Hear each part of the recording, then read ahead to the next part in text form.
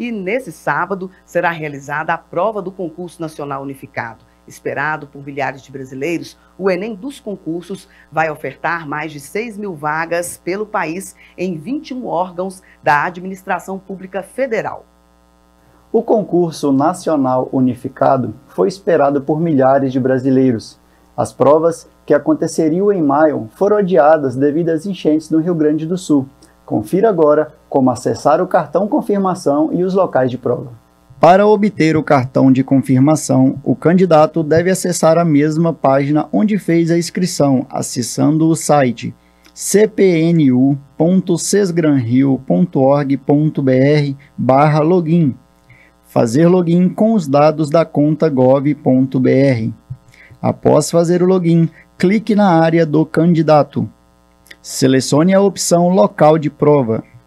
Confira o local de prova e realize a impressão e após três meses de adiamento, as provas serão aplicadas no dia 18 de agosto em 228 cidades pelo país.